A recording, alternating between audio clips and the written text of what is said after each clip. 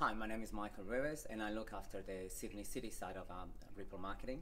My focus and my passion is around social media and PR, but also I also do um, marketing strategy as well. So if you want someone who is passionate about social media, about strategy and about planning, give me a call.